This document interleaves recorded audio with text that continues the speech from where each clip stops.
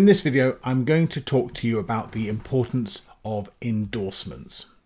Now, essentially, this is about building trust and recommendations equal trust.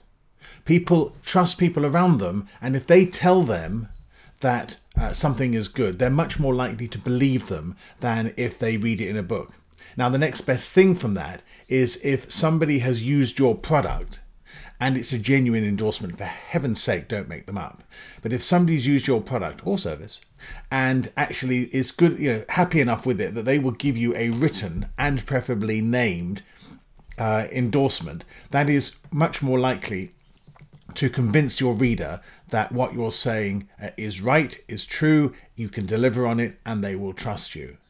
So endorsements are really uh, important. Now, if you can include a photograph with that, it's even stronger.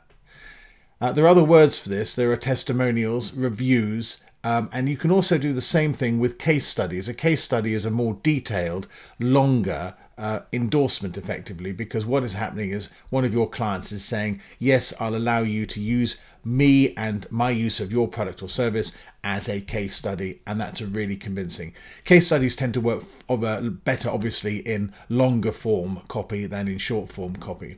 But it is helpful if you can have the photograph, the quote, and the name. And, and even if you just put the first name and then an initial, which is what I do very often, um, then you shows it's a real person. You're not just making it up.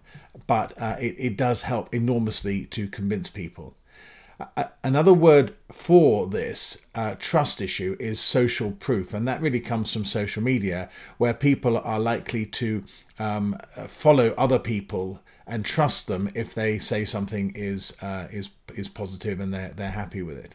So endorsements a really important part of your copy.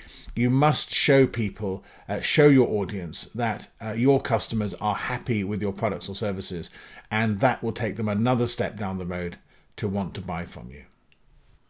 So that's it for endorsements, and I'll see you again very shortly in the next video.